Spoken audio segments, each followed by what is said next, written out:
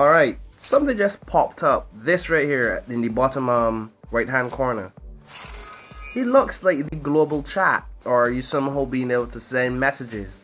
So you have the lobby list and it has well different countries you can choose from. I'm currently US, so you can try US, Australia. So, and in the corner you can also see the injustice. Ah, look, people, people. I don't know why I'm somewhat excited to see people in the um in the less and they're talking, man. Yeah.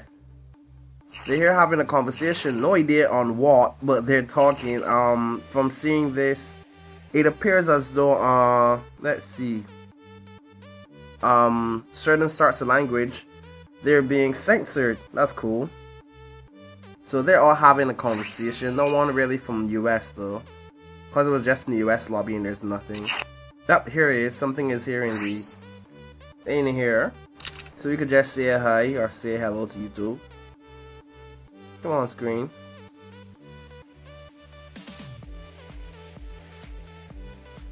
Hello to YouTube. Bloop. You can say that.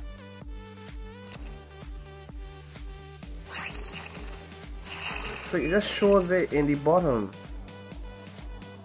This is actually pretty cool and from here you can block particular players or unblock them when you finally block them.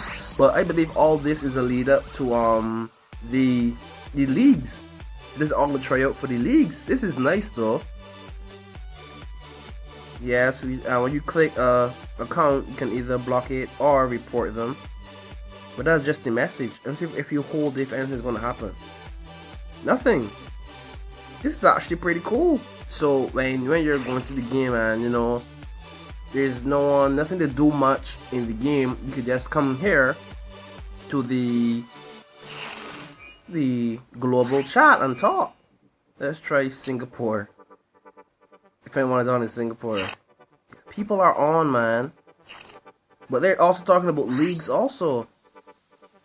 But this is a yeah, this has to be a lead up to the league, but this is actually pretty cool. This is nice. Oh, a whole bunch of different countries, man. But I guess they'll add more countries as they go on. This is cool. Trading UK. But oh, I would like to see next, I don't know, maybe trading, to get adding trading. I don't know. Here they're also, they're talking about it, you can't sell or trade in the game, but maybe we are seeing the leagues. You see, this is all lead up to leagues. What will also be cool though with this is um be able to talk to the pro players if they come on and use this. And by pro players, I mean the ones who are up in the top, right here, top of leaderboards. Somebody's been top leaderboard. At the top isn't um LQ Persona, but I'm not seeing LQ Persona at the top. That's weird. I guess it was an in-game update. That also, yeah, there was an in-game update. Okay. But with the introduction of this, oh man, this is going to be fun. This is going to be fun. I cannot wait for links to come. But anyways, thanks for watching. I will see you guys in the next video.